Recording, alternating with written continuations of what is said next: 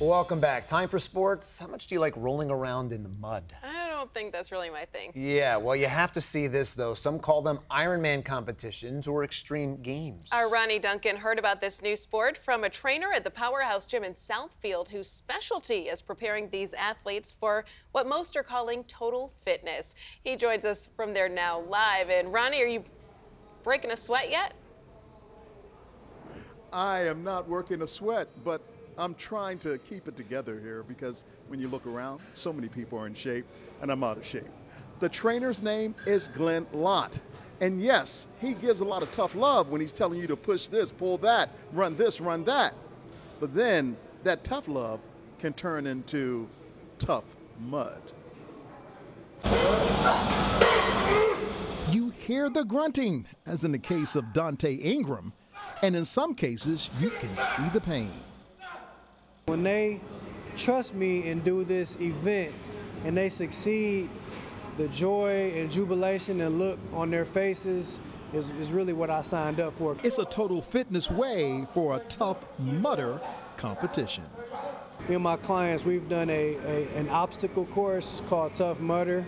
We've done it almost 10, 10 times.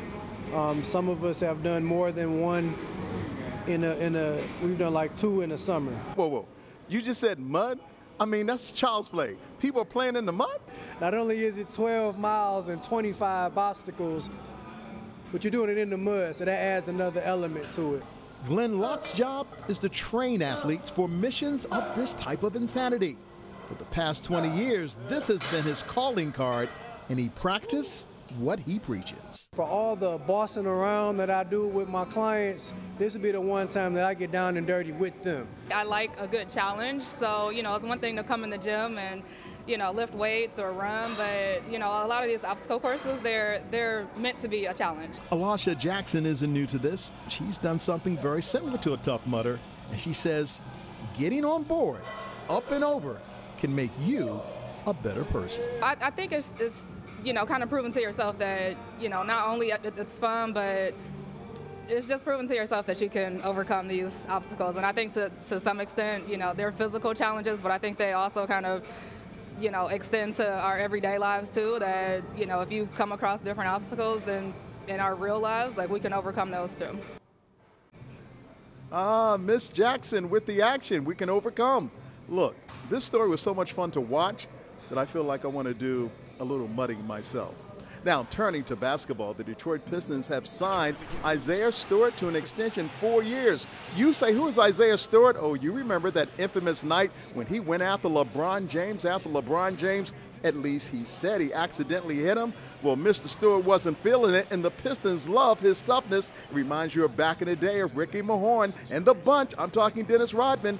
He signed an extension today, worth $64 million for four years. Isaiah is a madman, but he's our man, and when he's mad, as long as he's on our team, that's what it's all about. Reporting live right here in Southfield, where there are a lot of lad, mad mudders who want to get some stuff together, and they want to get that fitness done in an extreme way. Ronnie Duncan reporting from the Powerhouse Gym in Southfield, CBS News, Detroit. Ronnie, we want to see you get dirty out there. Mm-hmm. He needs to do that mudder. You know what? I just want to get in shape. I just want to get in shape. I'm tired of being a little fat boy who does sports at CBS News Detroit. So you're not going to come back in one of those orange crop tops? Uh, no. All right, thank you, Ronnie.